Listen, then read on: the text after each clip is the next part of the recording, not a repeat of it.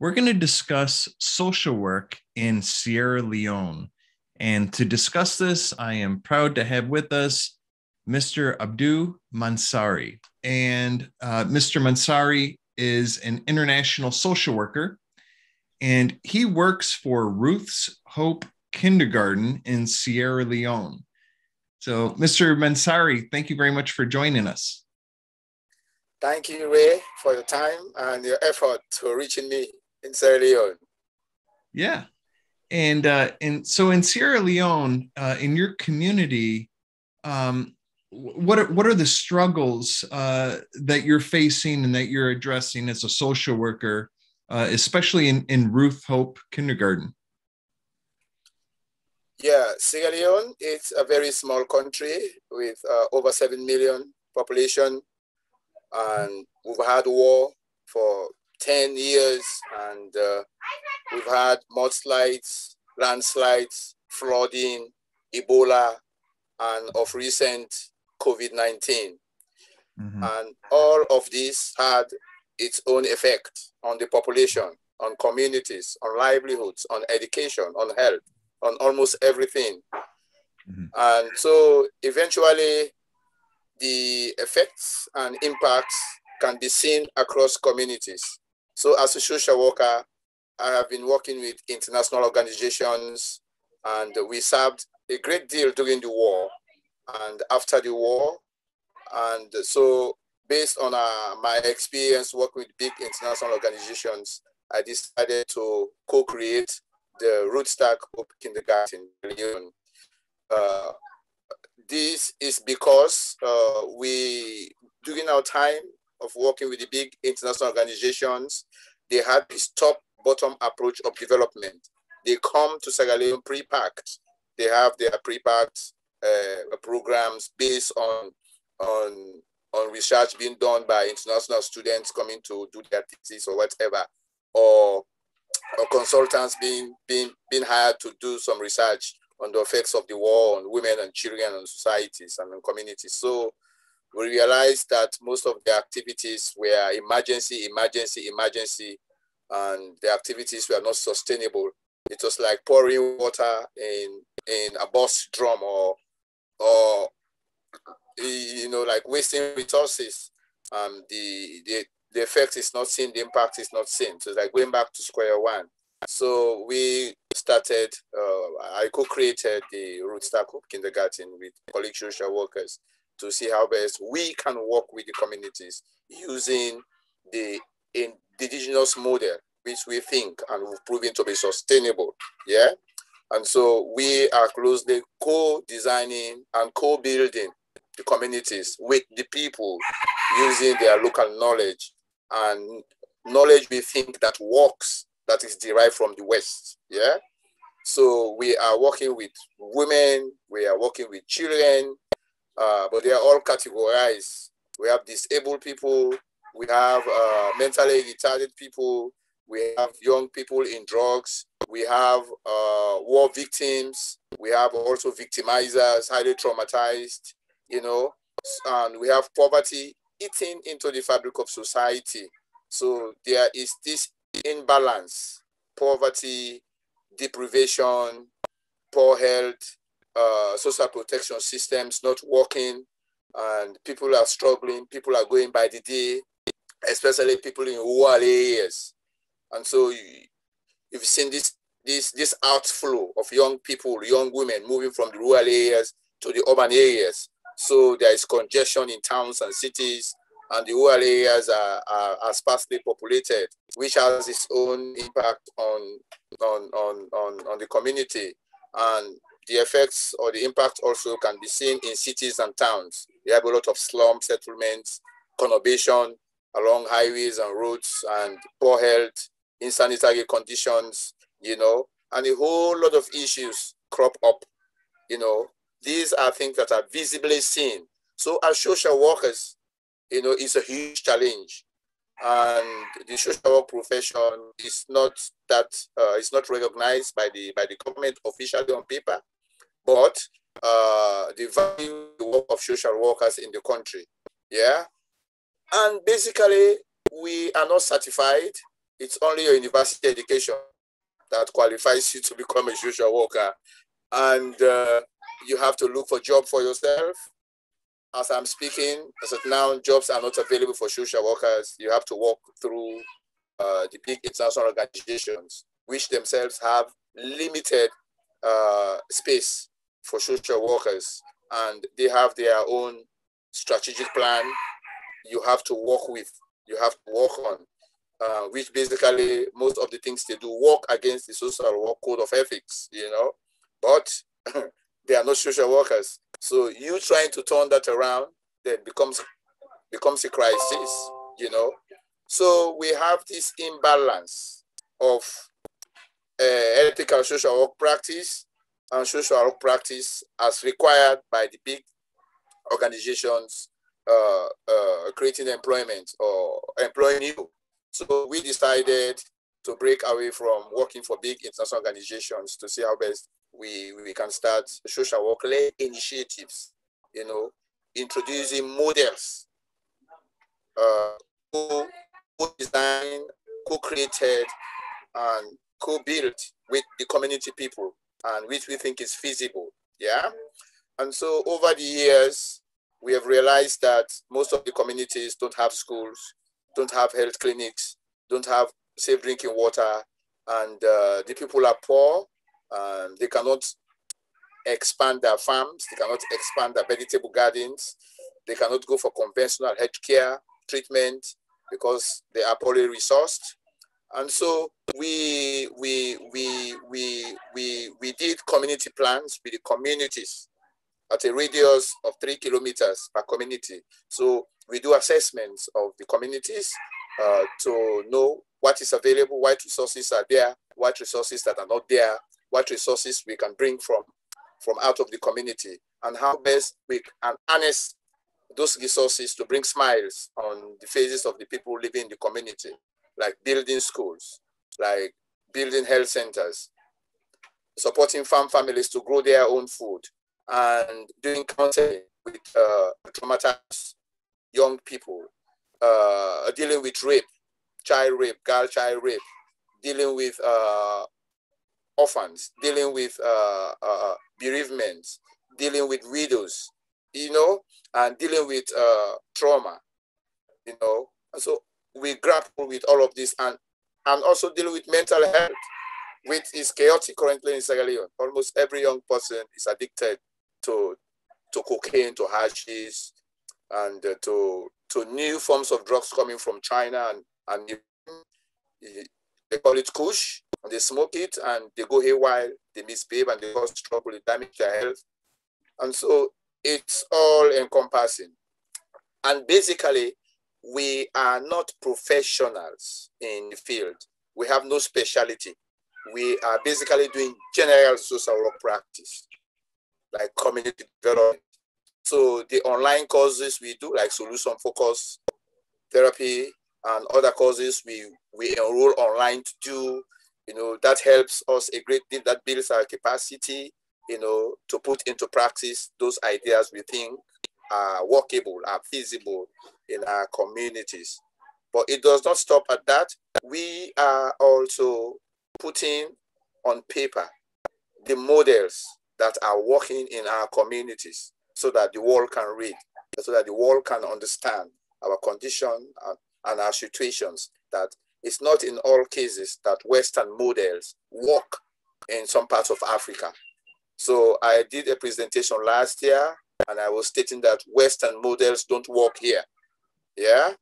And I had that video, it, uh, it went viral uh, with the IFSW, the International Federation of Social Workers and we published that article and we also share some stories on in books that we've written already that is available on the IFSW website. So we are using the Ruth's Hope Kindergarten as a model initiative to see how best we can co-design and co-create and co-build the communities with the community using the community resources, you know, and the knowledge and everything that they have.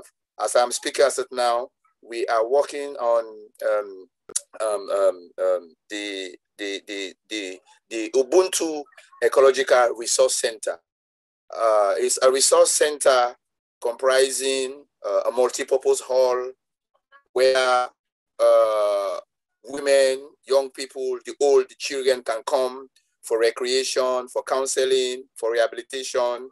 Then we also have uh, uh, the boarding school facility to bring orphans to school and to bring other people to school that don't have access to school. And those whose parents can't afford it, they can come there, they can be school, they can stay in boarding, and they can receive training of diverse forms, rehabilitation of diverse forms. Then we also have uh, the solar project that will supply electricity to the whole complex. They also have to supply water to the whole facility. And we'll be also having a clinic there, like a health center, and a backpackers lodge, then a vegetable garden, and a tree planting area, and then a recreation ground. We, we, we are working towards making it an international center where CEOs like you, your teammates can come and they can have access to communities where we assemble them. And then we can work with uh, drug drug addicts we can work with rape victims we can work with war victims we can work with people that are highly traumatized to transform them get them back on their heels to able to uh, live better lives. And we are also use we also want to use the center uh, to do pilot projects like the telehealth. Communications in Sierra Leone, it's it's very expensive and it's not everybody that can afford a telephone. And if they can afford one, it's for WhatsApp, maybe reaching out to their family members, you know, on very important issues, but like using uh, uh, communications to do online counseling or talk to groups by, via Zoom is quite complicating. It's quite complicated out here. So telehealth, uh, it's a bit complicating. So that is why I said it's it could be a new normal for rural communities. You know, I'm using uh, a Wi-Fi. A Wi-Fi I'm using to get connected, and if you move out of the city a little bit, then you you lose connections. It's you only have proper network when you are in the city and some uh, urban areas where they have the poles for transmission. But no sooner you move away from that, then network is not there. So you have to use your telephone to buy data, which is quite expensive to keep you online, you know. And most times there is no electricity in rural areas. So you have to recharge your computer, you have to recharge your phones. So that is why uh, I, I spoke with Cliff to say it is not feasible at some point in, in rural communities in Sierra Leone. Yeah. So that was the issue I was really trying to discuss with uh, uh, with Cliff. So, but I told Cliff what we do is face to face. Yeah, we work with children in groups, you know, with face masks on, and we have all the COVID nineteen prevention Eh, eh, eh, ethics guidelines. We observe those, and we also observe, we also use our local methods. Yeah, so we sit in circles, distances apart, and we look at the Western models that work, and also look at the indigenous models that work. So we get the best out of the rest, then we'll move our communities forward. Yeah. So these are some of the issues we are, we, we are working on. The community provided the land for the Ubuntu Ecological Resource Center. They provided the land and they also provided the, the, the, the manual labor to clear the land and to dig trenches and holes to produce the clay bricks. Yeah. And we've built connections with uh, colleagues whom we met online, like we met you, like we met Cliff and meeting you now to see how best they can they can support our initiative in Sierra Leone. So the Latin America group, uh, Latin America, that the Chile, Argentina, and Colombia, we have like universities uh, in what we are doing. And so we have a WhatsApp group. We meet uh, once every week to discuss ideas, to look for sponsors, to look for possible collaborations and partnerships to see how best they can help us build our center. So the Latin America group, uh, the INACAP University, and other institutions, I cannot remember their names now, uh, they are working towards raising funds to bring water to the center. The other group is raising funds to bring solar energy to the center. Yeah. And the other group is working towards bringing sanitation, toilets, and other stuff. So we are looking for partnerships to build the backpackers lodge, to build health center, to build the clinic, to build recreation center. And we have uh, over 10 acres being offered also for tree planting to green the environment, you know, trees for life, trees for the future through today. And we also have a huge chunk of marshland being offered by the community to grow our own food, where backpackers can also take part in growing their own food whilst they are there and they can eat from the harvest. Yeah. So these are the issues. And we want to make it a center where young people can come. We can bring them, we can encamp them there, and we can we can work on the challenges they are going through in life. Yeah. We can bring in doctors from abroad. They have accommodation, they have the clinic, and they can render charitable services on health issues. We can bring in counselors, mental health professionals to come and, and train social workers and train community leaders to be champions of their communities to help transform um, the lives of young people and the people in the communities. And we can also bring in professional farmers to bring in new skills, new ideas that we can add to our local knowledge to improve on farm yields, you know, to expand our farming, to improve on on on on on on the holistic life needs. But we are careful. We want to do it sustainably. Yeah, we want to do it sustainably. Yeah, we take into consideration a whole lot of things. Yeah, because uh, we don't want to be dependent. We, we want the communities to be independent when once we are stepping out, they can be able to handle, like repairing the solar system when it's breaking down. They can repair the pumps when they're breaking down. They can repair the buildings and they can manage and they can train, you know. So we to get a pilot where people can come from all over the world. They have a space to live. Uh, they have communities to work with and they, it can be a research center and as I speak, uh, we also have a partnership with Han University in the Netherlands.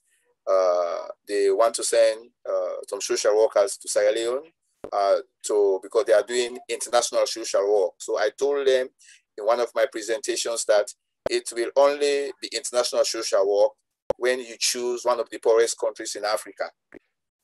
Because most, most experts working for World Vision, Action Aid, Caritas, these IRC, big global world vision, big global NGOs, they come as experts, but they know nothing about Sierra Leone.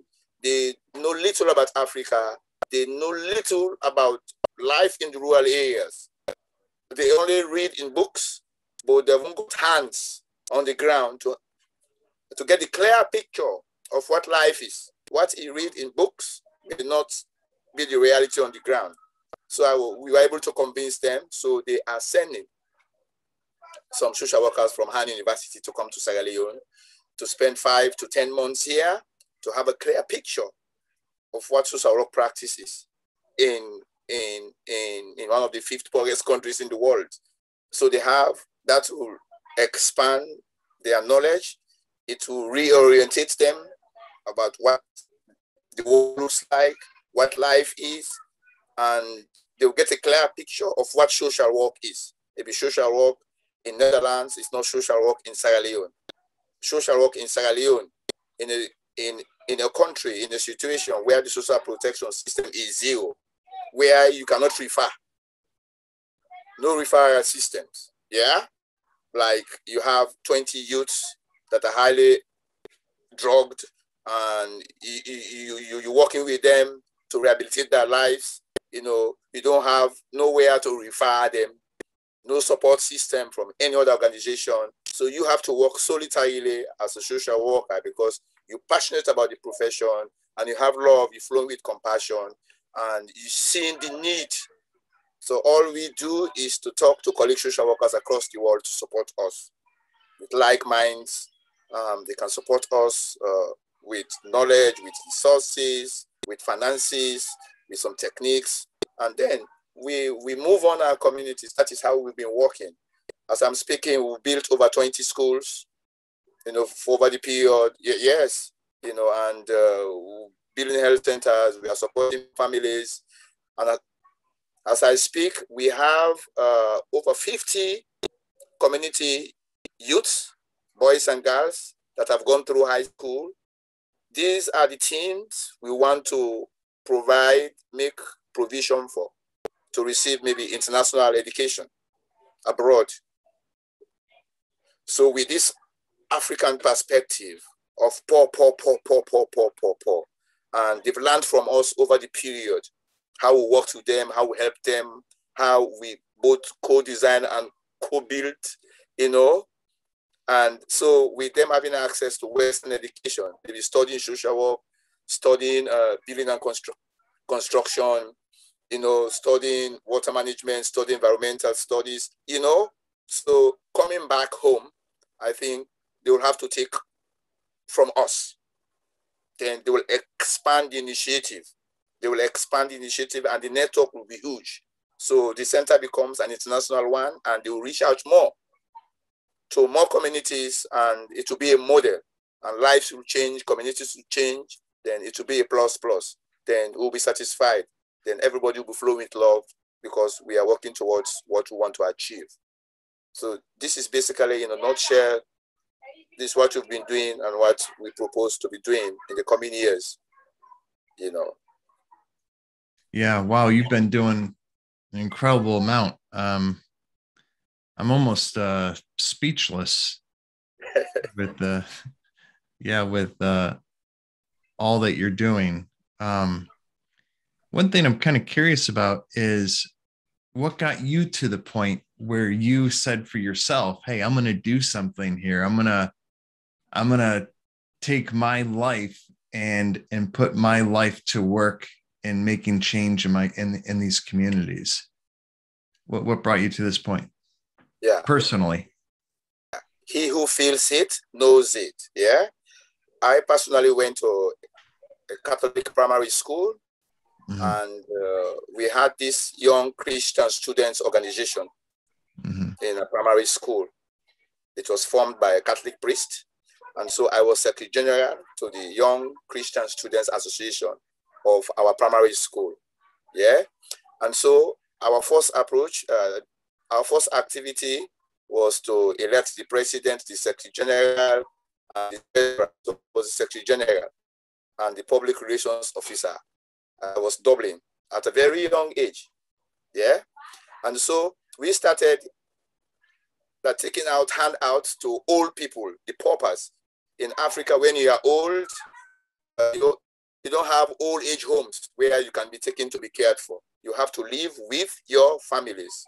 And most families go to the farm in the morning and they come home late in the evening. And so the old people are left in the homes to starve. So we realized that we discussed with the Catholic priest. So we did uh, we did home visits during the day when almost everybody is on the farm. So we discovered 50 people spending the day without food, without care, without attention. So we did a registration of them. And in the evenings, we came back when the families are back. And so we, we built a relationship with these families. So we, started, uh, we prepared sacks. We prepared sacks. So we put in there bulgur or wheat with milk and soap and some used clothing, blankets for old people. So we started bringing this stuff for them and uh, we realized that nobody's there to prepare the food. So we prepare food and bring it for them. Then we launder, we wash their dirty linens, we clean their rooms. Everybody was assigned to three old people per day. So after school, you have to visit them clean their rooms, change their beddings, take the the, the, the, the dirty one, the tidy ones, you clean them, you clean them up, you iron them, and you report the next day to the, the, the Catholic priest. So on Sundays, we pick them up, we bring them to church, we pray with them. Yeah. So that grew with me. So I had that passion since primary school to that moved on to high school. So, so at high school, I, I was also part of social club working with young people. So we had a football club and we have also a club for girls. Yeah. And but most times my colleagues we are passionate about football, like changing other schools and villages. But I had my my focus that we have to move it further, looking for the less fortunate ones in these communities and see how best we can convince the Catholic priest to offer them scholarship to come to school. Okay, so we uh, yeah, so we asked the priest to provide scholarships and to build schools in these communities. And so schools were built in these communities and the scholarships were offered. And even churches were built in these communities. And, and, and so from that, when I went through my high school examination, then I entered university. But my parents were poor and they cannot afford uh, a direct uh, education for me. So I had to go from a certificate to diploma. You know, I have to just hop. And uh, there was not a course being offered in social work in Sierra Leone by then. So I had to tailor my training to something related to what I started doing in primary school, then in high school. So I started doing a course in social development, then in adult education, then I did project planning and management, then in development economics, then I did parenting workshops when I went to the UK. Somebody just invited me for one year to the UK to serve as a volunteer so, I, so that I can have an idea about what the West looks like. Then I was able to learn for a year. So I have this Western perspective about life and the poorest part I come from. So it's dual. So that builds, that keeps bubbling in me, yeah? And so he who feels it knows it. So coming back home, I was able to, I built my connections in the UK and Germany. So I was able to build more schools, more health centers. Yeah. And so if we don't do it, you know, I, I think I, I, I think I have a responsibility. Yeah. And because all the areas that we build schools since creation, nobody has built schools there. And nobody is even going there to ask them to build schools. And we still have tens of communities that need schools. They are all looking up to us to give them schools. Yeah, because it's in the remote areas. And governments, they build schools along highways, easily accessible areas. Yeah. And they don't want to incur more costs. They want it's politics. Yeah, we'll build this school, we'll build that school. They can be seen along the highways. But the bulk of the people that need help most live in the hinterland. So we are going in the hinterland where vehicles don't go. At times we leave the motorbikes, we walk on foot. And you see loads of children all over the place with no access to school, no access to safe drinking water, no access to proper health care. Yeah. So with that, and you see that, and you see the potential in these young people, and you imagine your life if you were one of those. And I was one of those category. So that yeah, coming so, to mind, I said, no, we have to just move out there and do something. So, so that is what is moving me yeah. to not stop, keep moving, making connections online, doing all the networks I can be able to do.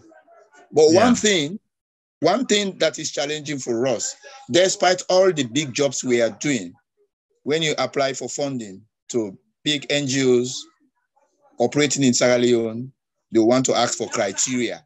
You should have a big office, paid up staff, computers, and vehicles, blah, blah, blah, tra la la. You have to submit financial reports, auditor reports. But what they are doing as big international organizations is not a match to what you are doing as a local initiative. So this is the challenge. So most times we, we lose sight of all those big big NGOs, big criteria to apply to apply for funding, grants, and stuff. So we go in for we build personal contact, personal relationships. We even encourage our friends, well wishers, philanthropists to come to Sierra Leone to visit and to see what we are doing. We go to the communities, you see it firsthand, and you say, okay, I'll support this project. I'll support this. I'll support that. I'll support that.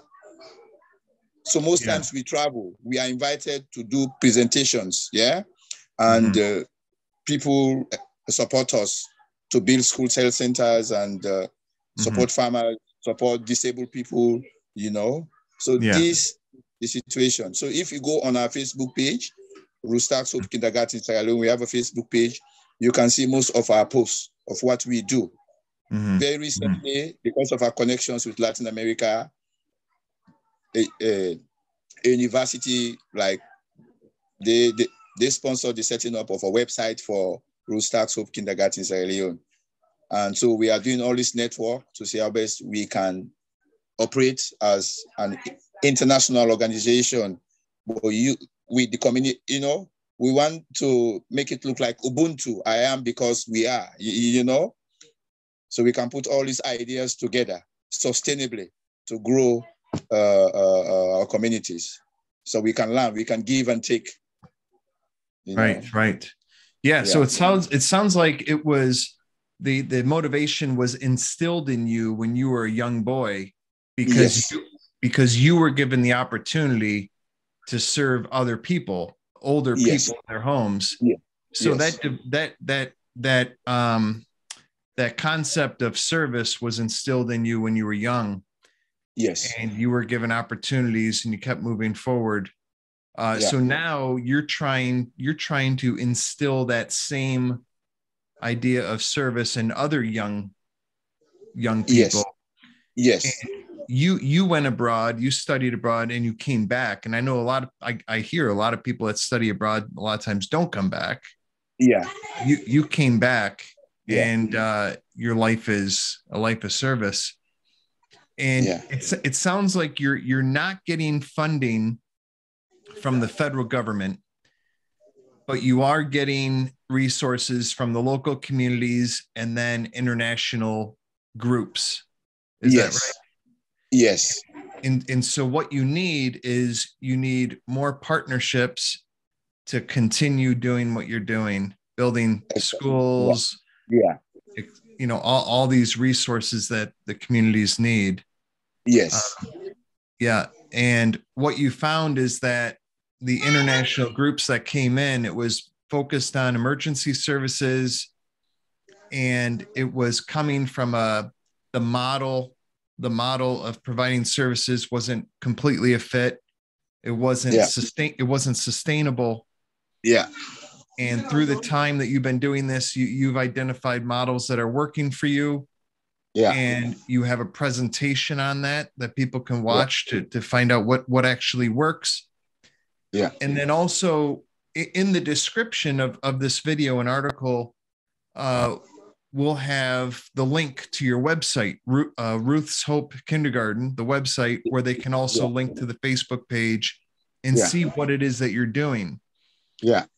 So if if an organization, whether really small, an individual or a large group, if they want to get involved and help out, they can contact you through your website. Is that correct? Yeah. Yes. Yeah. Um, yeah. So you, you have, uh, you, so in terms of social work, it's building communities. It's a lot of helping provide um, the fundamental things that a person needs to thrive school, yeah. food, shelter, safety, yeah. education, mental health services. Yeah. yeah. Now, you mentioned uh, the, the, the telehealth uh, not working because you don't have the technology. Yeah. Um, what about audio only, just phone calls? Does, is, does that work for telehealth in your communities or no? Well, it's it may work.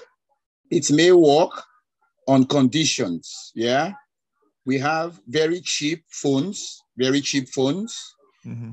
and uh, very cheap phones that can go for about maybe $20 or $25, 20 or $25. Yeah. And uh, there is this, there are the mobile solar, solar chargers, very small ones, where you can charge your, your mobile phones on that. And uh, then you can uh, leave this uh, with uh, you. You identify team leads in each of the communities. You identify team leads. So when once there is a condition that needs uh, a tele uh, uh, issue that needs to use the telephone to talk to somebody that needs help, then you can talk through the, the team lead. Then the team lead will bring the telephone to the person. And the team lead will facilitate the communication between the social worker and the client. Yeah. Then after that process, then the team lead will keep the telephone for another session with another person. And that has to be maybe in a radius of a kilometer per telephone, you know? Yeah. yeah. So, yes. and, and there will be times also. So there has to be a strategy, you know? So it's a new normal for us. Yeah. So right. it will be like a pilot project to see if it's feasible. Yeah. Right. Right. Right. Yeah. Yeah. Yeah. So these are the issues. Yes. Yeah. I, I could, I, yeah, that, that is, and it's a big issue. It's quite a yeah. challenge. Yeah. Uh, so a lot, a lot of, a lot of education and work. Um, so many things are done online on the internet. So it sounds like a, a, a major thing that you all need. I mean, you, you need a lot of things, but the uh, yeah, the technology sounds like a, a, a big piece that's that's missing. Yeah, technology is a big piece that is missing out there. Technologies mm-hmm. out there are used by big, like the UN system, the European Union, mm-hmm. and uh, uh, oh yeah, we run webinars for those of us with uh, Wi-Fi's and laptops, you know, and mm-hmm. Android phones, you know. Mm-hmm. But for communities, what we do is face to face. All our activities yeah. is face to face. It's face to face. All yeah. our activities face to face. Yeah. You know? Yep. And and how do you like in terms of um mental health, uh, you know, people people overcoming the challenges of abuse, war, uh, you know, all the trauma that that people have experienced I would imagine some people would get support by hearing, like watching videos of other people have, that have um, worked to overcome those challenges. Do, do people get support online at all, or is or is basically almost all of their support interactions face to face with people? Yeah, what we do is face to face interactions. We yeah. assemble them in mm-hmm. in by communities Maybe yeah, we run okay. two, two, three day workshops with them. We do uh, a lot of activities with them. Yeah. Mm, yeah. Because yeah. what we learn online that we think is feasible is what we practice, then we we try to impart that. Mm. We try to use that in workshops. Mm-hmm. The first day, the second day, the third day. At times, the workshop stands for spans for a week. Yeah. Mm-hmm. And after a week, then we move back to the communities to see what have they benefited from the workshops. We do an evaluation. Yeah. Yeah. And uh, we we invite them. We do our best to transform them also to become facilitators to other groups based on what they've learned from us. Oh, so okay. we, we involve them in in other community activities to facilitate. We sit in the sideline and they facilitate. So we just pop in to make some clarifications. Yeah. Right. That's so, that's the, that's uh, the that's the sustainability rather than just going and providing some workshop and that's it. Yeah. You're yes. providing you're providing with you're providing the workshop with the expectation that they're going to pass it on to others that they're going to yeah. yeah. Yeah. But the yeah. big challenge we have is that we don't have referral centers where we can refer them to be engaged in sustainable livelihoods. Yeah. So what what uh-huh. what what what we are doing is is bringing them into groups uh, to do vegetable farming. Those that want to do carpentry, we we arrange for a community workshop where they can do their carpentry. Those that want to do motor mechanics, we we mm-hmm. go to the local garages. Then we get them tools and and everything that they need. So every day mm-hmm. we go through, we visit each of these skills training centers to see how they are doing, what they are doing. If there's anything coming up that is uh, not good, then we can note that. Then we can call up the mm. clients mm. to come to the office. Then we can work over that. So it's yeah. on a daily basis, on a routine. And yeah. We we we we make, we do motivational speeches, and uh, yeah, that is how it's working. We support them. Some may not may, may not have food at home. Some may mm. not have proper clothing. Some may not have transport to to pay to come to the center. So we support them. You know, uh, to make sure they are there. Yeah. Yeah. You know. And when, when you when you go to a community to do a workshop, how many staff members, like how many helpers are coming to, to do that? Well, every community has a structure. Our first step is to mobilize the community. We do community mobilization, identifying uh, uh, the, the head teacher in the community school, the nurse in the community health center, uh-huh. and the, the, the youth leaders in the community in the communities. So we identify okay. them. So yes.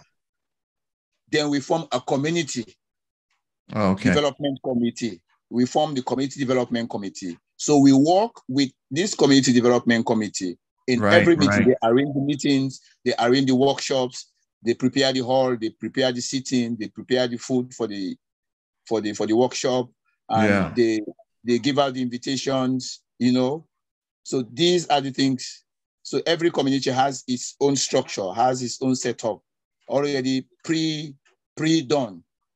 Those right. are our preliminary steps we take to build community structures involving mm-hmm. the key players in the communities, the nurse, mm-hmm. the teacher, the chief, the the the the the, the youth leader, you, you know. So these are the key players and the local chiefs because the communities listen to them uh-huh. We go to the mosque, we go to the church. So we have a relationship with the pastor, with the imam. So during right. church services, they make announcements that this Ruth's Hope Kindergarten having a workshop tomorrow. Please inform your kids to be there. The mosque does the same. The school does the same. The health center also talk to people coming to the hospital. The chiefs also do the same. So, yeah. yeah. Yeah. So you're really, yeah. you're really, you're coming into a community and you are establishing a committee that's representative yeah. representative of leaders of of yes. the whole community yes and and bringing them together with a focus yes and, and follow through yeah yes yeah. Wow. So well i i really appreciate this. This has been um very informative. It's moving. And if you're listening to this, watching this video, uh, please visit Ruth's Hope Kindergarten's website and their Facebook page. Uh, and please uh, consider how it is that you can uh, support support their mission, um, which is uh, you know obviously very very extremely uh, important. And uh, yeah, Mr. Mansaray, thank you very yeah. much. Yeah, for your time and uh, yeah th- this is this has been really helpful and um, really appreciate all the things that you're doing and and i know it doesn't mean much from me right you know from uh from from another country but uh for for what it's worth my my heart really really is extremely thankful out of care for people that that need help so thank you for all that you're doing i really appreciate it yeah. yeah. Thank you, Ray. Thank you very much for your time. Yeah. And mm-hmm. thank you for the passion to help other people around the world. Mm-hmm. Thank you very Welcome. much. Yeah.